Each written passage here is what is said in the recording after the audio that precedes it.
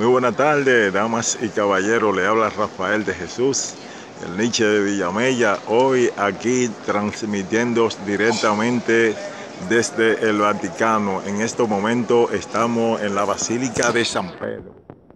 La Basílica de San Pedro es la sede central de la Santa Sede. Aquí es que se reúnen los cardenales cuando el Papa fallece y para ah, discutir en, en los cónclaves.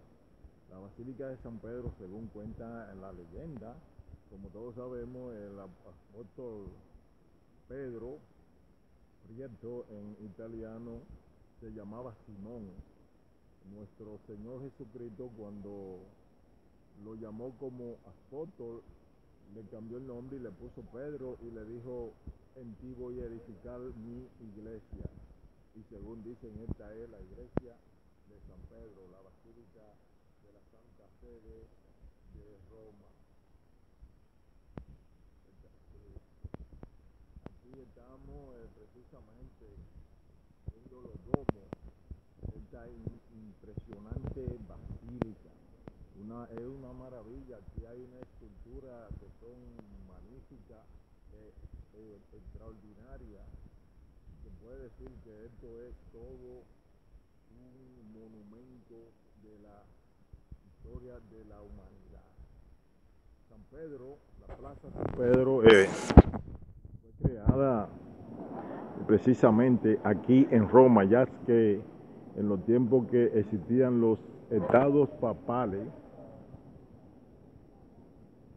los estados papales en Roma eh, el rey Víctor Manuel II eh, invadió todos los estados papales y lo apropió y lo abolió y solamente dejó este en la Santa Sede.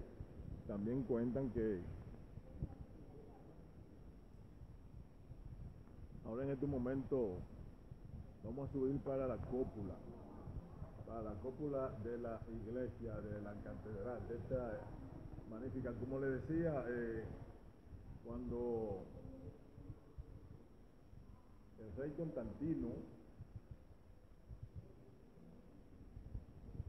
el rey Constantino, el emperador Constantino, tuvo una visión de que iba a ir a la guerra y se le apareció una imagen de una cruz brillante en el cielo. Según dicen, era la cruz de Jesucristo y él le dijo en sueño que tenían que ir a la guerra usando un escudo con esta imagen, la, la cruz. Constantino ganó toda la guerra y el hombre se convirtió en cristiano y oficializó al, al imperio romano que en ese entonces era que dominaba el, el, el mundo antiguo, oficializó la iglesia católica cristiana como la Iglesia Católica. De ahí viene el nombre de Iglesia Católica Romana, Apostólica y Romana, pues tiene su sede aquí en Roma. Eh, es bueno eh, recordarles a, la gente que eh, esta sede, la Santa Sede, es un país independiente, es un país que tiene todos los derechos como un país tiene su bandera, tiene su banco, su moneda, tiene su ministerio y su presidente, en este caso el presidente de la iglesia es el Papa. En este momento el Papa es eh, Francisco, que es quien está dirigiendo quien está dirigiendo la, la Santa Sede o el gobierno de Roma de la Iglesia Católica. El Papa Francisco junto con su ministro, que son los, los cardenales y la curias papal. Aquí ahora mismo estamos pasando por el Museo de, del Tesoro Basílica di Prieto. Museo Tesoro Basílica di Prieto, o sea, el, museo, el tesoro de la Basílica de San Pedro. Pietro, como todos sabemos en italiano, es Pedro.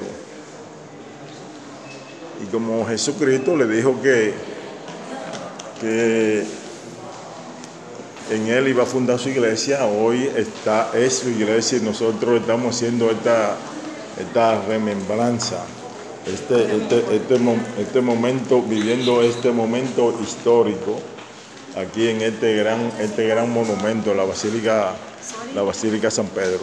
Así pues esperamos que mi gente le haya gustado un poquito, por lo menos, una refrescándole, refrescándole la memoria a mi gente sobre el origen del cristianismo.